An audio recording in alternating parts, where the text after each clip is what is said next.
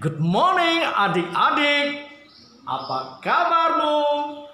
It must be amazing bertemu lagi dengan Lause dan adik-adik di Home Sunday School yang ke-17.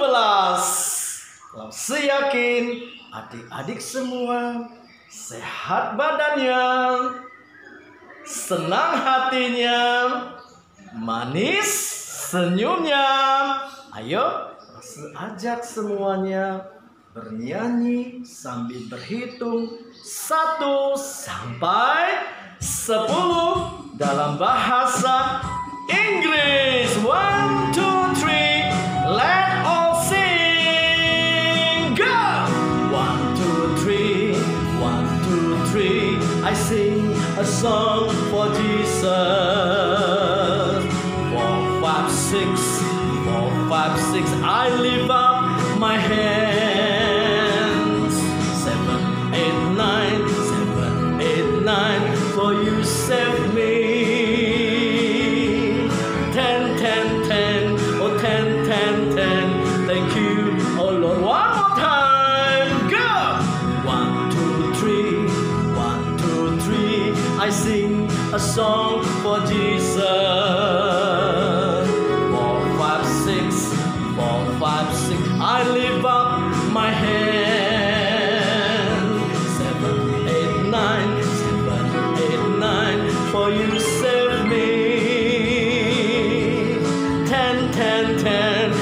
Ten, ten, ten.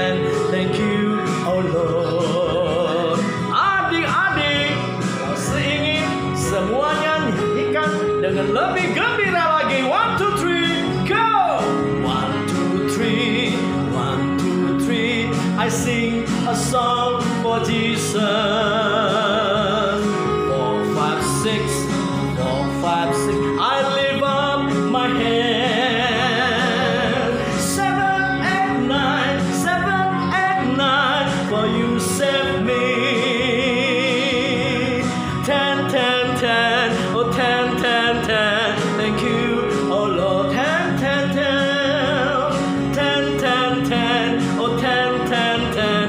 Thank you, oh Lord. Katakan thank you, oh Lord. Thank you, oh Lord.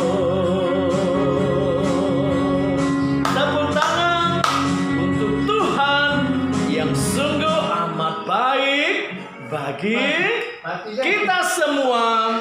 Lima jari kanan, lima jari kiri, kita satukan.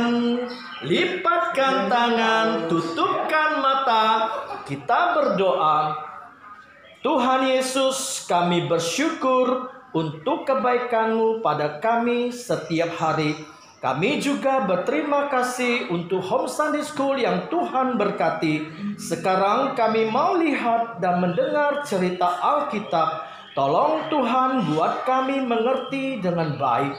Dalam nama Tuhan Yesus kami berdoa. Amin. Ayo adik-adik kita lihat dan dengar cerita Alkitab dengan duduk yang baik dan ra- rapi. Adik-adik, pagi ini Lau Segani mau cerita Alkitab. Cerita pagi ini dikutip dari Matius 6 ayat 26 sampai 32. Ayo ikuti cerita berikut ini. Masihkah adik-adik ingat manusia ciptaan Tuhan yang pertama, yaitu Adam dan Hawa? Mereka berdua telanjang, mereka tidak mengenakan pakaian dan juga tidak mengenakan celana di hadapan Tuhan. Tetapi mereka tidak malu. Tahukah adik-adik mengapa mereka tidak malu? Karena mereka masih bersih dan belum pernah melakukan kesalahan dosa. Dosa apakah yang dilakukan oleh mereka berdua?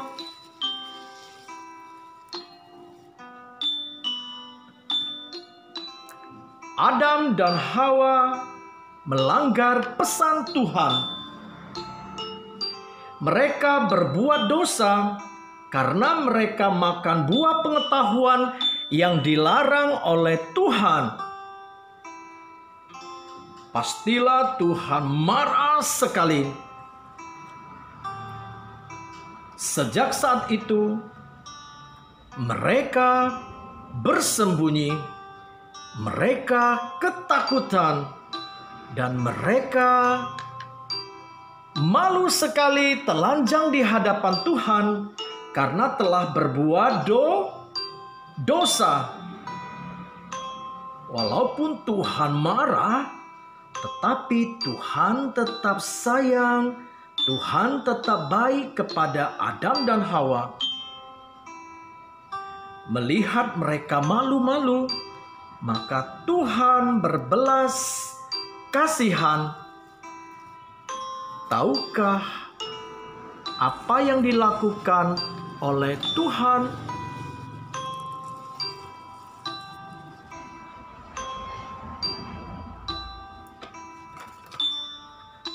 Pertama kali Tuhan membuat pakaian untuk manusia. Untuk siapa? pastilah untuk Adam dan juga pastilah untuk Hawa. Pakaian dari kulit hewan yang sangat sederhana tetapi sangat berguna bagi mereka. Siapakah mereka? Adam dan Hawa hadiah yang sangat menyenangkan bagi mereka berdua.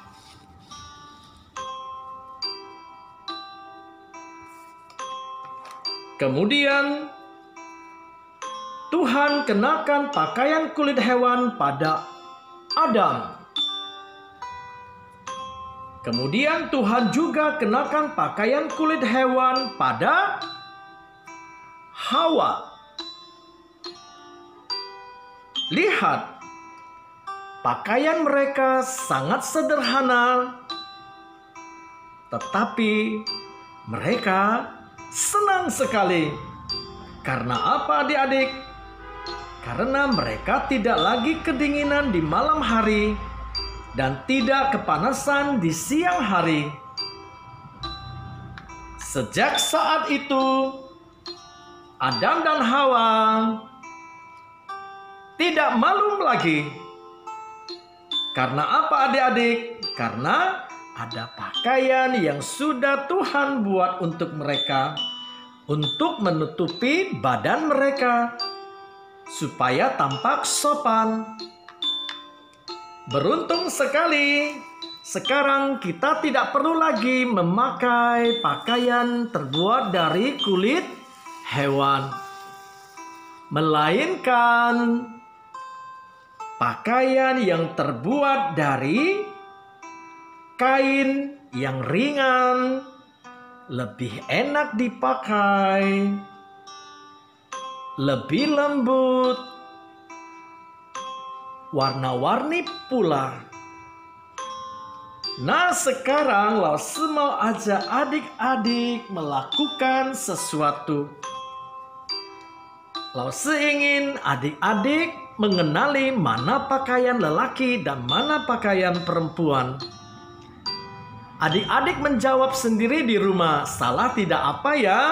Coba kita lihat pakaian yang pertama. Sweater warna hijau bermotifkan bunga-bunga. Pakaian laki apa perempuan? Kalau yang ada bunga pastilah perempuan. Lalu yang berikutnya sebuah sepan pendek jean. Sepan pendek ataupun panjang biasanya dipakai oleh lelaki. Selanjutnya sebuah t-shirt warna abu-abu tanpa bunga. Tentulah pakaian lelaki. Ayo, gimana jawaban adik-adik? Apakah benar semua? Selanjutnya, sebuah sweater warna orange juga bermotif bunga. Pastilah pakaian perempuan. Berikutnya, oh oh, tanpa lo komentar, pasti ini adalah pakaian perempuan karena ini pakaian terusan atau blues. Terakhir, sebuah sweater warna biru bertuliskan Boboy. Namanya aja boy, pasti pakaian laki-laki.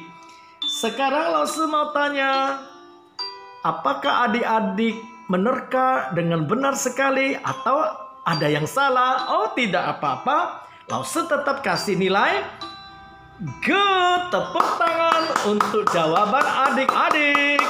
Good job.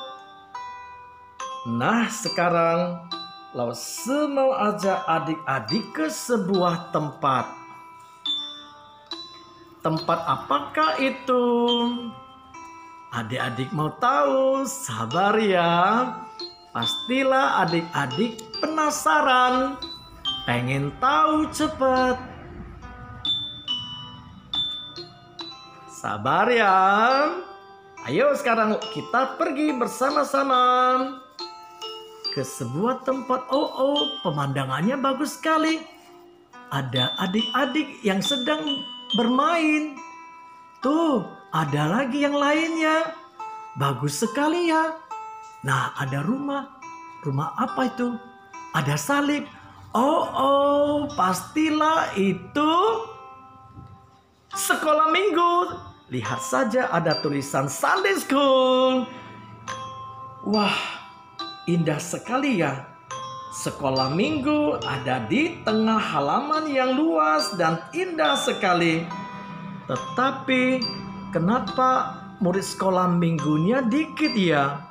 Kita hitung ya. One, two, three, four, five. Cuma lima, mana yang lain? Kita tunggu ya adik-adik sabar. Lagian belum terlambat sekolah minggunya. Eh, eh, lihat gak adik-adik ada yang sedang berjalan? Eh, perempuan, laki-laki, laki-laki lagi, laki-laki lagi, perempuan. Mereka berjalan sambil lari kecil. Teng, teng, teng, teng, teng. Ayo adik-adik berhenti ya, berhenti. Berhenti. Iya, bagus. Terima kasih. Sekarang kita komentari penampilan mereka ya adik-adik. Kita dari yang paling depan. Tuh, yang yang paling depan mengenakan pakaian yang rapi, lalu rambutnya diikat atas Oh, oh, rapi sekali. Terus sebelahnya kita lihat memakai sepatu yang bersih dan rapi juga tuh pakaiannya. Lalu yang ketiga, dia memegang ranselnya dengan hati-hati supaya ranselnya tidak jatuh. Oh, bagus sekali. Sebelahnya adalah temannya memakai sepan panjang sepatu olahraga yang bagus dan bersih, bajunya juga bersih. Terus di belakangnya adalah seorang perempuan, pakaiannya juga rapi, warnanya pink, sepatunya pink. Oh, serasi sekali. Rambutnya juga diikat kuda. Oh, cantik ya. Lalu yang belakang Tuh, walaupun mereka lompat-lompat tapi baju mereka masih rapi ya. Tuh, bagus rapi bajunya. Yang ini, yang itu, yang itu juga. Nah, adik-adik, dari cerita hari ini kita belajar sesuatu, belajar apa? Kita belajar bersyukur bahwa Tuhan sudah ciptakan pakaian untuk kita. Jadi, kita harus berpakaian yang bersih dan rapi supaya enak dilihat orang. Lalu yang paling senang pastilah Tuhan melihat anak-anak Tuhan berpakaian yang rapi dan bersih. Nah sekarang ajak adik-adik lipatkan tangan, tutupkan mata, kita berdoa ya. Tuhan Yesus, terima kasih atas kebaikan-Mu memberi kami pakaian sehingga kami tampak sopan, rapi, dan bersih. Ajarkan kami selalu menghargai pakaian yang Engkau ciptakan untuk kami. Dalam nama Tuhan Yesus, amin. Nah, adik-adik, saatnya adik-adik semua masuk ke sekolah minggu. Ayo, hati-hati ya, jangan dorong-dorongan. Happy Sunday, adik-adik. Selamat menikmati sekolah minggu. Sampai jumpa adik-adik. Bye-bye. Bye-bye.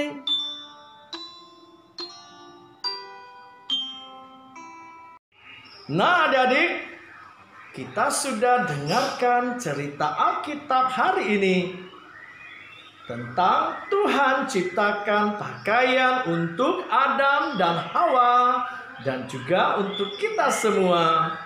Adik-adik, tahukah Tuhan Yesus pernah berpesan kepada kita semua di dalam Alkitab ini? Lalu bacakan, adik-adik dengar yang baik ya. Matius 6 ayat 25. Karena itu aku berkata kepadamu, janganlah khawatir akan hidupmu, akan apa yang hendak kamu makan atau minum, dan janganlah khawatir pula akan tubuhmu, akan apa yang hendak kamu pakai. Amin. Sekarang lo aja adik-adik mengaminkannya, meyakinkan kata-kata Tuhan, pesan Tuhan yang kita baca tadi. Ayo bersama kita lakukan, kita nyanyikan bersama-sama. Aku tidak khawatir. Semua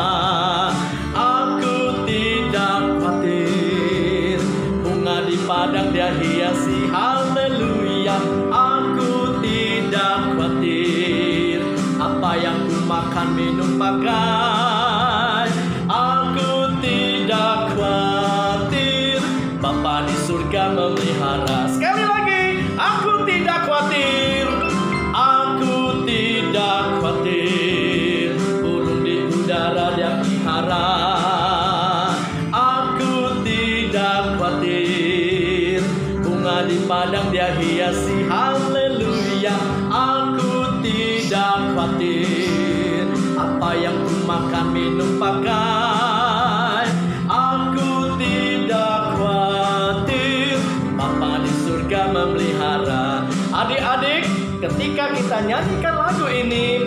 Love singing semuanya